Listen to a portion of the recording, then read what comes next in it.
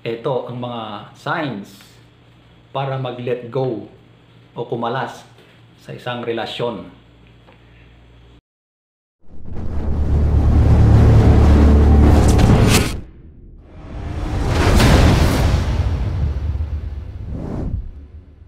Hello guys! So ito ang ating topic ulit for today.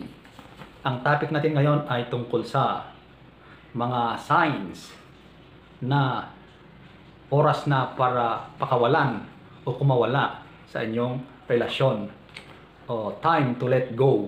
O, di ba? So ibig sabihin, hiwalayan na, hiwalayan. Hiwalayan na, o, nag-surrender na, hindi na kinaya ang mga kaganapan sa isang relasyon. So, kumalas na.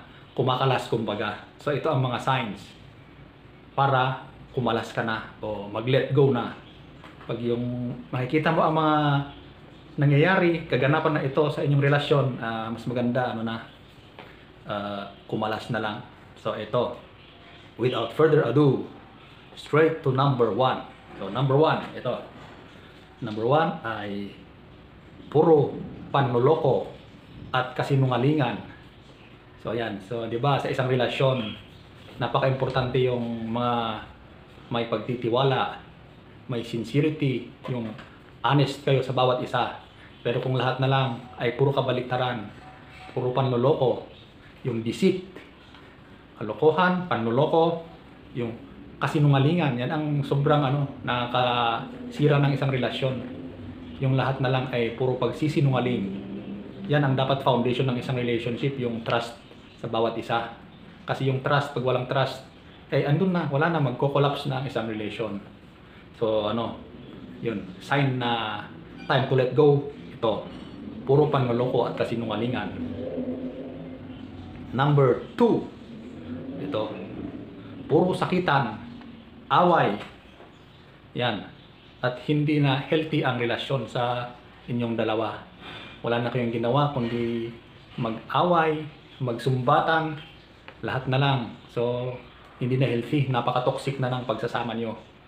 Toxic na. Kumbaga, bawat kunting kibot, galit at away na lang. So, pag ganyan, wala nang ano, wala nang respeto sa bawat isa pag ganyan ang nangyayari sa inyong dalawa.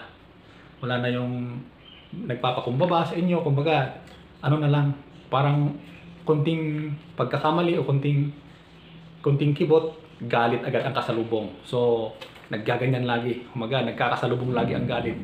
Wala na yung ano, yung... Di ba, pag ganyan kasi, dapat pag galit ang isa, ito mahimik muna yung isa, tsaka pag medyo lumamig na, tsaka mag-usap ulit. Pero pag yung salubong lagi, wala na yan. So, toxic na ang ano, relationship nyo. So, number three, ito. Yung pagtataksil na paulit-ulit, wala na.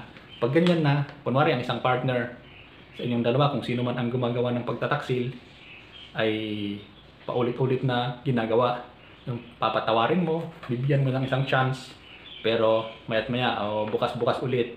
Gagawin niya at uulitin niya. So wala na yan. Tsaka pag ganyan kasi hindi na wala nang patawad sa ganyan. Kasi ang mga cheaters ay uulit at uulit talaga yan. Wala nang katapusan yan. Papatawarin mo ngayon bukas sa makalawa uulit-ulit yan. Kaya better na let go. Number four, hindi ka na masaya. Oo, yan ang pag naririnig mo, kunwari tinanong mo, ano nang nangyari, ba't ka naghiwalay? Hindi na ako masaya.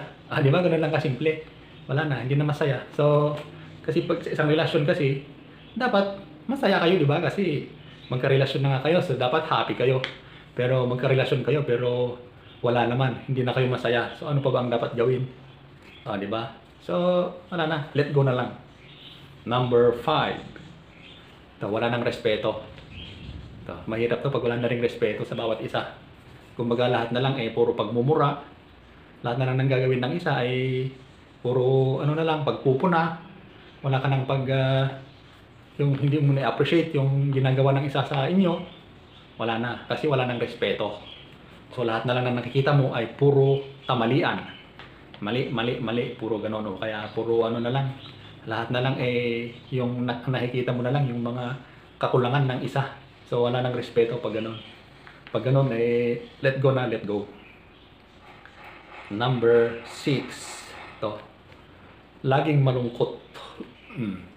Parang kasi kabaliktaran na lang nung hindi masaya. So, laging malungkot. O, bakit ka maging malungkot? Eh, dapat pumasok ka sa isang relasyon para maging masaya, di ba?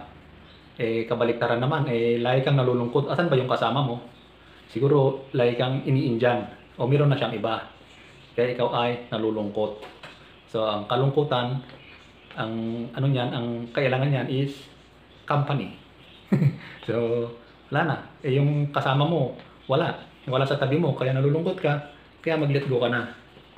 Wala na yan. Meron na yung kinahuhumalingan na iba. Number seven. Ito. Yung o, hindi mo na matandaan kung kailan yung huling huling ano, nagkasama kayo na may mga kasiyahan na nagaganap o na- ginawa niyo yung mga happy moments niyo. Parang wala na hindi mo na hindi na naulit. At napakatagal ng panahon na may mga happy moments na nangyari sa inyong dalawa. Kasi ngayon wala na. Kumbaga puro ano na ngayon konsumisyon na lahat.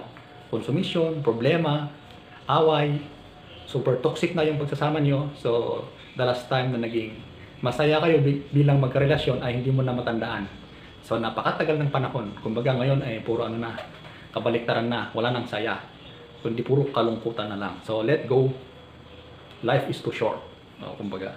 Number 8. Ito. Yung pagod na pagod ka na. Pagod na pagod ka na. Kasi ikaw na lang ang ano, kumbaga sa bawat ah, nangyayari sa inyong dalawa, ikaw ang gumagawa ng paraan para i-save yung relationship nyo o kaya magkaayos kayo lahat na lang gumagawa ka ng ano, compromise para para lang sa inyong relasyon. Pero wala. Ikaw na lang ang gumagawa ng paraan. Tapos yung kasama mo binabaliwala, binabaliwala niya lahat. So dumarating din sa punto na ikaw ay napapagod. So pagod ka na at wala na. Ikaw na ay ah, nag-surrender na. So pagod ka na kaya bumibitaw ka na. So pag ganyan na it's better to let go okay? Number 9 ito magkaiba kayo ng mga gusto. Para ang hirap kasi yung magkarelasyon kayo pero lahat na lang ay walang nagtutugma sa inyong dalawa. Sa lahat ng bagay ay puro magkaiba. Kumbaga siya ay mahilig sa eh, sa red, ikaw naman puro blue. Wala talaga. Sa pagkain, sa mga hobbies, sa mga damit, ay opposites talaga. Opposite kayo sa mga opinion, sa mga pananaw, sa mga values. Magkaiba kayo. So ang hirap, mahirap mag ano yun, mahirap magkasama ang ganyan yung walang pag ano. Wala man lang point na kayo ay nag uh, yung magkaparehas na ano hindi kayo nagkakasalubong. So laging opposite. Mahirap yun. Mahirap magkaroon ng ano ng magandang pagsasama pag ganyan. So let go ka na lang kasi super magkaiba kayo sa halos lahat ng bagay. Number 10 ito. Ikaw na lang ang gumagawa ng lahat o ng paraan. O di ba pag ganyan lang edi mauubos at mauubos ka rin. Mawawala ka na ng mapapagod ka, di ba? Kasi sa lahat kumbari ikaw yung ano, yung breadwinner. Ikaw lang ang kumikita, tapos yung kasama mo wala hayahay lagi. Hayahay lang ang buhay. Ah, kumbaga eh ano siya, ah, palamunin lang tapos ikaw naman ang gumagawa lahat. Ikaw na nga ang nagtatrabaho, ikaw ang kumikita, ikaw ang nag-uuwi ng pagkain, tapos pag uwi mo, ikaw pa ang magluluto, ikaw pa ang mag, mag ano ng pagkain. O paano na yan? Eh, wala nang kakwenta-kwenta yung kasama mo, sipain mo na yan. Ganun yun. So, ikaw na lang ang gumagawa ng lahat. Mapapagod ka talaga. So, umalis ka na dyan, mag-let go ka na. O mag-move forward ka na lang. Ito, number 11. Ito, yung magkarelasyon kayo pero puro takot at pangamba ang nararamdaman nararamdaman mo. Siyempre baka yung partner mo eh ano siya nananakit o kaya may mga ugali siya na nakakatakot di ba? Kahit hindi nananakit ng physical pero puro ano naman puro naman verbal yung emotional na sinasaktan ka Masak- masakit siyang magsalita o di ba? So toxic napaka toxic ng pagsasama pag ganyan na ganyan na may takot.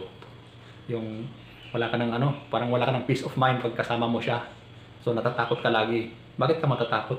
Dapat hindi ka natatakot pag magkarelasyon kayo, di ba? Dapat nga ang saya-saya sana, di ba? At peace kayong dalawa. At is, at peace. Pero ngayon, puro takot ang nararamdaman mo. Takot, takot at pangamba. Eh wala. Bumitaw ka na lang, bibitaw ka na lang. Kaysa naman mag ano, magtiis ka sa ganyan. Number 12. So ito. Pinipigilan ka ng inyong karelasyon. Parang ano to, mahirap din to kasi parang gusto ka na lang ikulong sa bahay mo, yung ayaw kang mag-grow. Kaya may mga gusto kang gawin sa buhay, eh ayaw ng partner mo. Gusto mong magtrabaho, ayaw niya. Gusto kang ikulong. May mga bagay na gusto mong gawin, ayaw ng partner mo. So wala, walang growth. Wala. So magiging stagnant ka na lang sa relasyon na yan. Walang support, kumbaga. Dapat magkarelasyon kayo. Susuportahan ka hanggang sa mga gusto mo para lalo, kayong umunlad at lalong gagandaan yung pagkasama. Pero kung walang support at puro na lang ano, yung pinipigilan ka lagi, ayaw kanyang ano, ayaw kanyang pahintulutan sa mga gusto mo, ay wala. It's better to let go. So, ganun guys. So, pag nakita mo ang mga ano na yan, palatandaan na yan, signs na yan sa inyong karelasyon o sa pagsasama nyo, ay ano na lang, it's best to let go. So, next story time and don't forget to subscribe.